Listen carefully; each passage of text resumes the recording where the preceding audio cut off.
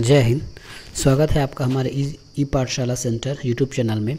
आज का हमारा टॉपिक है हिंदी व्याकरण और हिंदी व्याकरण के अंतर्गत हम पढ़ने वाले हैं प्रत्यय। इससे पहले हमने उपसर्ग के बारे में चर्चा किया था और उसकी लगभग सारे थ्योरी क्लासेस कंप्लीट कर लिए गए हैं। तो आज का हमारा विषय रहेगा प्रत्यय।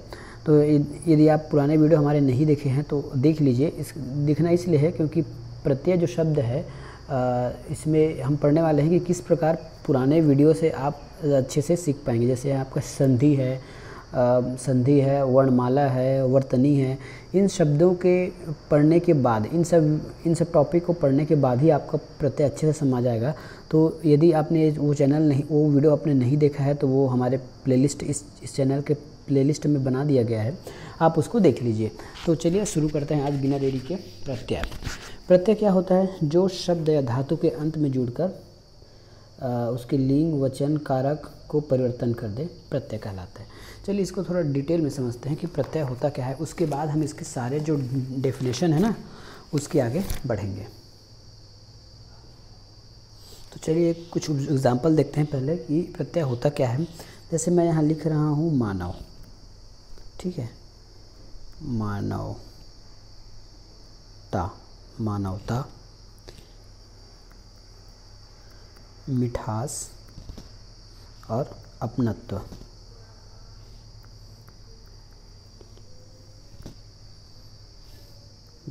अपनत्व, ठीक है। अब इस शब्द में देखिए, ये है मानवता, ये है मिठास और ये है अपनत्व। इसमें अब प्रत्यय क्या चीज़ होता है, ये देखिए। यदि मैं इसको तोड़ के लिखूं तो प्रत्यय हमारा इसमें हो जाएगा। ये ता इसमें प्रत्यय है, इसमें आस प्रत्यय है और इसमें तो अप्रत्यय है। ठीक है? तो अप्रत्यय है। अब देखते हैं कि प्रत्यय मैं इसको यदि मैं इसको पहले क्यों पढ़ा रहा हूँ? क्योंकि जैसे हम जान लेंगे कि प्रत्यय होता क्या है, उसके बाद उसके प्रकार हैं डेफिनेशन हैं, ये पढ़ेंगे तो ज़्यादा अच्छे से समझ आएगा। तो यदि इसको मैं अलग से लिखूँ तो क्या हो जाएगा? ये हो जाएगा मानव और ये हो जाएगा ता। ठीक है? उसके बाद ये हो जाएगा मीठा। मीठ। है ना? मीठा प्लस आस।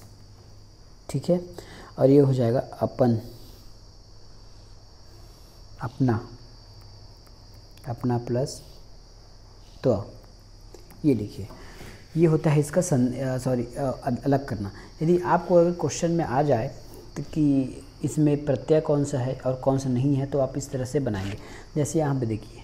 ता, ये अगर क्वेश्चन में आया तो शायद आप एक बार में बना लें। लेकिन यदि ये क्वेश्चन में आपको दे दिया मिठास है ना? और प्रत्यय इसका ये सही है, लेकिन इसके बाद आपको ये दे दिया गया, मीठा प्लस स, है ना? तो आप बताइए कि कौन सा सही है? ये वाला सही है कि ये वाला सही है? इसलिए इसलिए जो है हमको प्रत्यय पढ़ना पड़ता है। ये गलत है। यदि क्वेश्चन में ऐसा लिखा के दे दिया सा, यदि कोई ऐसा लिख दिया मीठा प्लस सा, मिठास हो गया तो ये गलत हो गया ना? मीठा प्लस आस होगा। उसी प्रकार है अपनत्व। अपना प्लस यहाँ यहाँ अपन भी लिख सकता है, यहाँ पे अत्व भी लिख सकता है, अत्वा भी लिख सकता है। ठीक है? तो इस प्रकार आपको पहचानने आना चाहिए, इसको बोलते हैं प्रत्यय। ठीक है? अब समझते हैं कि प्रत्यय होता क्या है। प्रत्यय होता क्या है? प्रत्यय का संधि विच्छेद करके देखिए। प्रत्यय, ये होता है प्रत्यय। अब इसका संधि विच्छेद करते हैं तो ये हो जाएगा प्रति, प्लस, इसका हो जाएगा य, प्रत्यय, है ना? इन दोनों का संधि विच्छेद प्रत्यय का मतलब है, होता है प्रति प्लस अय और प्रति का शाब्दिक अर्थ होता है साथ में पीछे, है ना? साथ में पीछे इसका मतलब होता है और अय का मतलब होता है चलने वाला। चलने वाला। तो इसका मतलब हो गया पीछे या साथ चलने वाला। पीछे पीछे चलने वाला पीछे साथ चलने वाला इसको हम बोलते हैं प्रत्यय। तो चलिए ये तो हो गया हमारा प्रत्यय का जानकारी कि आपको प्रत्यय होता क्या है। तो एक शब्द में बोलेंगे तो प्रत्यय किसी वर्ड के लास्ट में किसी शब्द या वर्ड के है ना या धा, धातु के। देखिए शब्द हो सकता है धातु भी हो सकता है। चलिए एक इसका जैसे ही हम डेफिनेशन लेंगे तो पता चल जाएगा। जैसे इसका डेफिनेशन ये है कि वह शब्दांश वह शब्दांश चलिए, मैं यहाँ दो ठो प्रत्यय लिख रहा हूँ, ठीक है? मैं यहाँ दो ठो प्रत्यय लिख रहा हूँ। ये होता है आपका मिठास, ठीक है? मिठास। तो इसका मतलब हो जाएगा मीठा। गलत लिखा हूँ शायद मिस्टेक ऐसा हो, ये है मट आपका मिठास।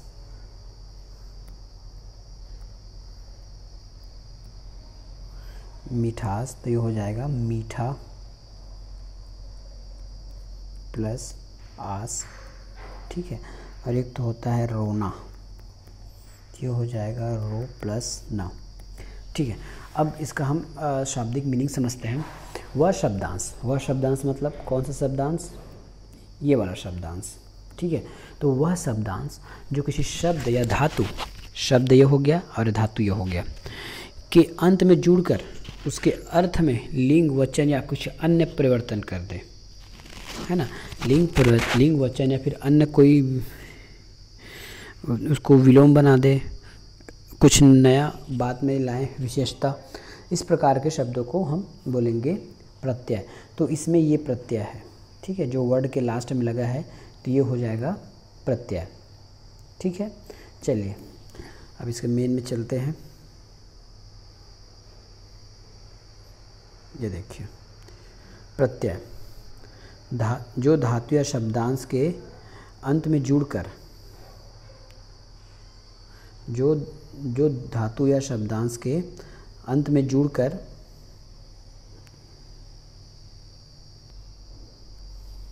जो धातु या शब्दांश के अंत में जुड़कर वचन, लिंग, परिवर्तन कर दे हम उसको प्रत्यय बोलते हैं। प्रति प्लस ए। इसका मतलब होता है प्रत्यय, इसको मैंने बता दिया है। अब प्रत्यय का प्रकार देखते हैं। तो प्रत्यय का दो प्रकार होते हैं। एक तो होता है कृत प्रत्यय, दूसरा होता है तद्धित प्रत्यय।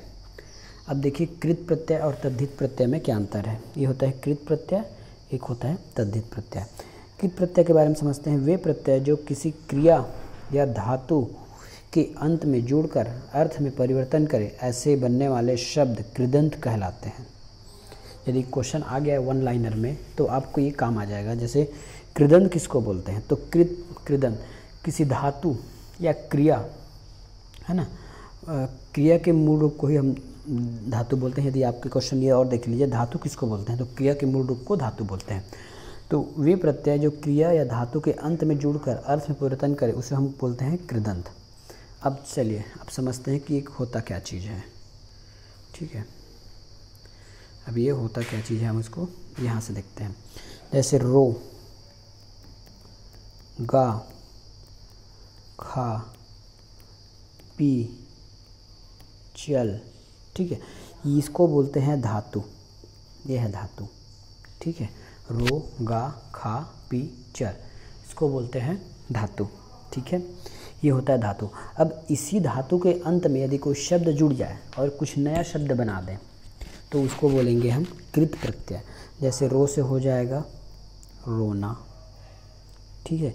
गा से हो जाएगा गाना, खा से हो जाएगा खाना, पी से हो जाएगा पीना, चल से हो जाएगा चलना। तो ये कृदंत हो गए। यदि हमने पढ़ा है ना कृत प्रत्यय क्या होते हैं तो ये हो गया आपका कृत प्रत्यय रो गा खा पी चल, ये कृत प्रत्यय है। सॉरी थोड़ा डिस्टर्ब हो गया। ये कृत प्रत्यय नहीं है। ये इसके बाद जो लग रहा है ना ना, ये आप देखें कंफ्यूज हो रहा है, फिर से बता रहा हूँ। ये रो गा खा पी चल, ये आपकी क्रिया है और ये धातु है, ठीक है?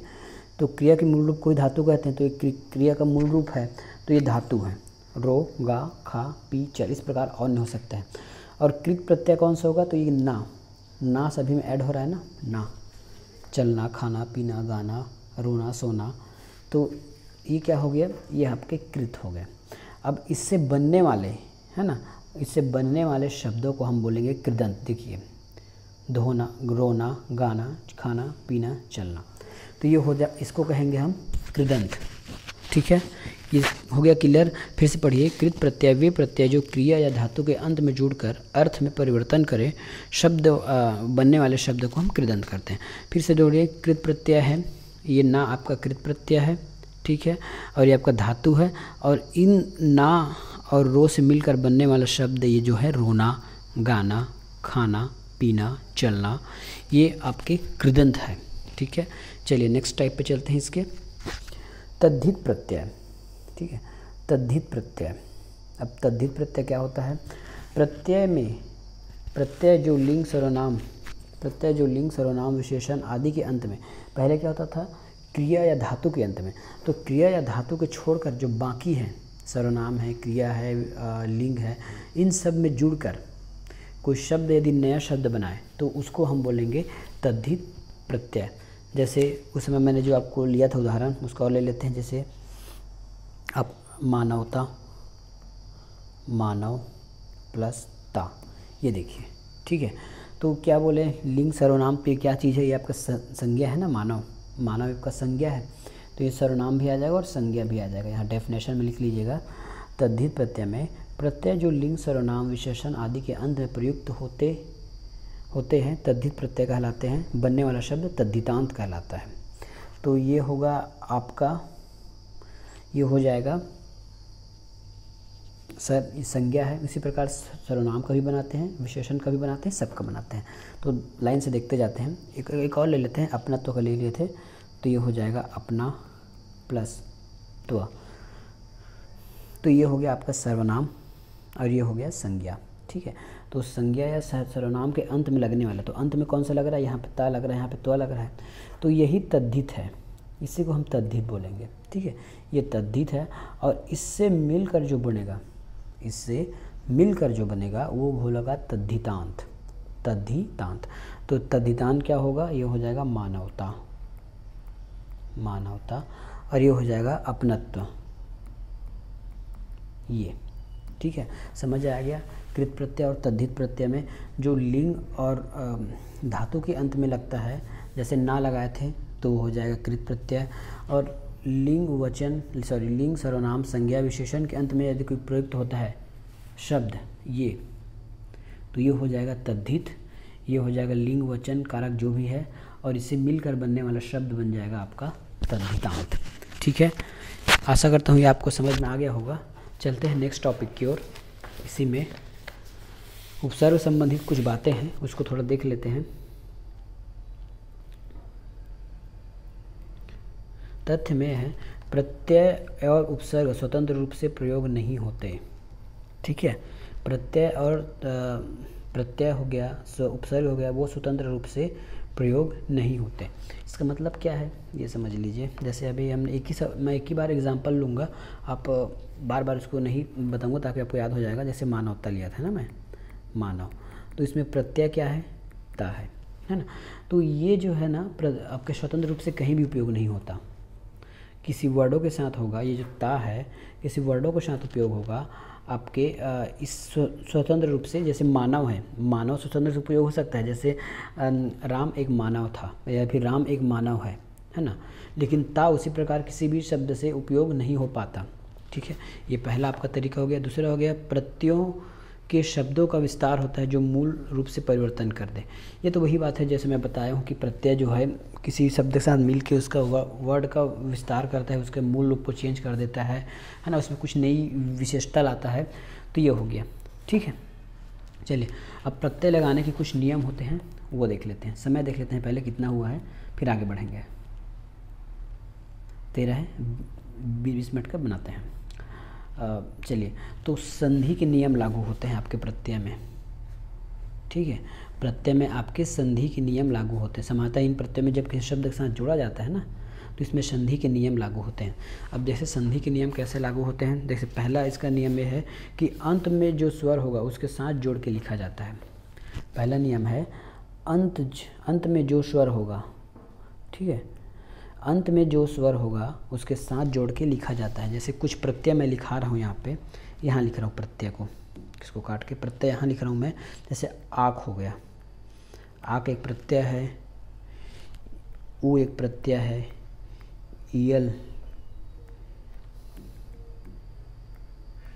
ईयल एक प्रत्यय है। इस प्रकार और बताऊँगा। तो पहले हम नियम देखते हैं। अंत में स्वर को, स्वर के साथ जोड़कर लिखा जाता है। जैसे हमने लिख दिया तैराक। है ना? तो तैर प्लस आख। यहाँ देखिए क्या लिखा हूँ? मैं संधि के नियम लागू होते हैं, इसलिए मैं पहले ही बोला हूँ कि आप संधि पहले पढ़ लीजिए। इसके वीडियो हमारे इस चैनल में है, पूरे पूरे संधि की वीडियो इसमें आप उसको पहले देख लीजिए। अब देखिए, ये कैसे बनेगा? ये प्रत्यय है आप इसको संधि नहीं समझेंगे, ये प्रत्यय है। आक एक प्रत्यय है देख, संधि इसलिए आपको नहीं समझना है क्योंकि संधि में दो वर्ण होते हैं सॉरी दो शब्द होते हैं। इसमें दो शब्द होना अनिवार्य नहीं है, ठीक है? तो देख लीजिए, अब तैराक कैसे लिखेंगे? ये जो है ना, ये आ है, इस रा को पूरा कर देगा। ये रा में, ये अभी छोटे आ के है तो इसमें आ में पूरा करेगा तो दीर्घ संधि बन रहा है कहीं ना कहीं। दीर्घ संधि बन रहा है तो ये हो जाएगा तय राख ठीक है? ये आ के मात्रा दिया तो ये राम में बड़े आ की मात्रा लग गया, और तैराक हो गया, ठीक है? ये समझ गया? अब ऊ में देखिए, जैसे चाल। चाल प्लस ऊ। अब ये क्या हो जाएगा? ये जो ऊ के है ना, ये जो इसमें आके जुड़ जाएगा तो ये हो जाएगा चालू। ठीक है? इसी प्रकार कुछ अन्य और देख लेते हैं, जैसे आख। लड़। लड़ प्लस आकू। तो ये हो जाएगा, यहाँ से ये जो अ है, इस लड़ा को पूरा करेगा। तो ये हो जाएगा लड़ा और ये कु, लड़ाकू। ठीक है? तो ये है हमारे प्रत्यय के, प्रत्यय लगाने के नियम। पहले इसमें संधि के जितने भी नियम होंगे, वो लागू होंगे। एक और देखते हैं, आना प्रत्यय होता है एक। आना प्रत्यय। आना प्रत्यय में क्या हो जाएगा? मीट प्लस आना। तो मीट प्लस आना। मैं इसलिए आपको बता रहा हूँ कि यदि कोई यदि विच्छेद करने के लिए पूछे तो आप इसमें कंफ्यूज ना हो, ठीक है? जैसे इसी को देख लेते हैं ना? चलिए, ये जो लड़ा है इसी में देख लेते हैं। यदि क्वेश्चन में ऐसा आ गया कि ये जो लड़ाकू है, किस शब्द से मिलके बना है? तो पहला ऑप्शन तो ये रहेगा। एक और ऑप्शन दे देगा, लड़ा प्लस कू, है ना? लड़ा प्लस कू। तब आप क्या करोगे? है ना? तब बहुत लोग अगर ये लगा दिए लड़ा प्लस कु में तो ये गलत हो जाएगा।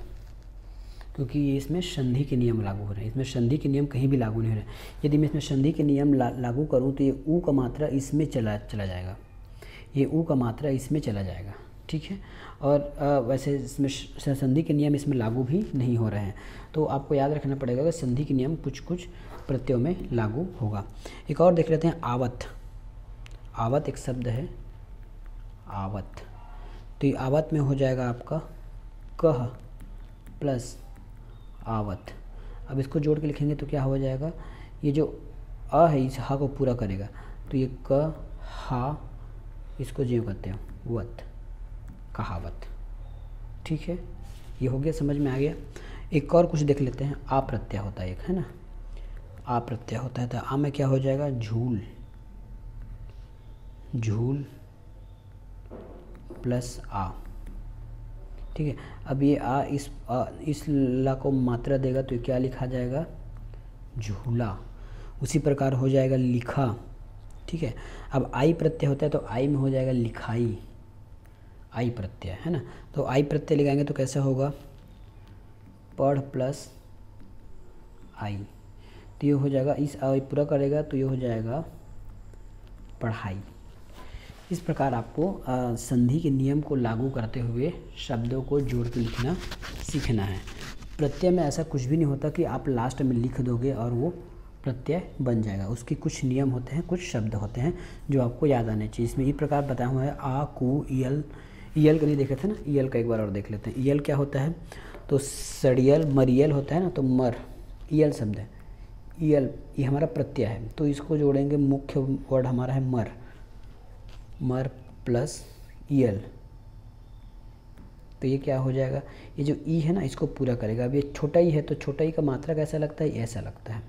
मरी यल इस प्रकार। ठीक है? चलिए, अब नेक्स्ट देखते हैं नेक्स्ट क्या हमारा नियम है।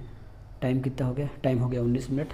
अब मिलेंगे नेक्स्ट वीडियो में। तब तक के लिए धन्यवाद। चैनल अगर यदि वीडियो पसंद आ रहा हो तो ज़रूर लाइक कीजिए और चैनल को सब्सक्राइब कीजिएगा। आपका दिन शुभ हो।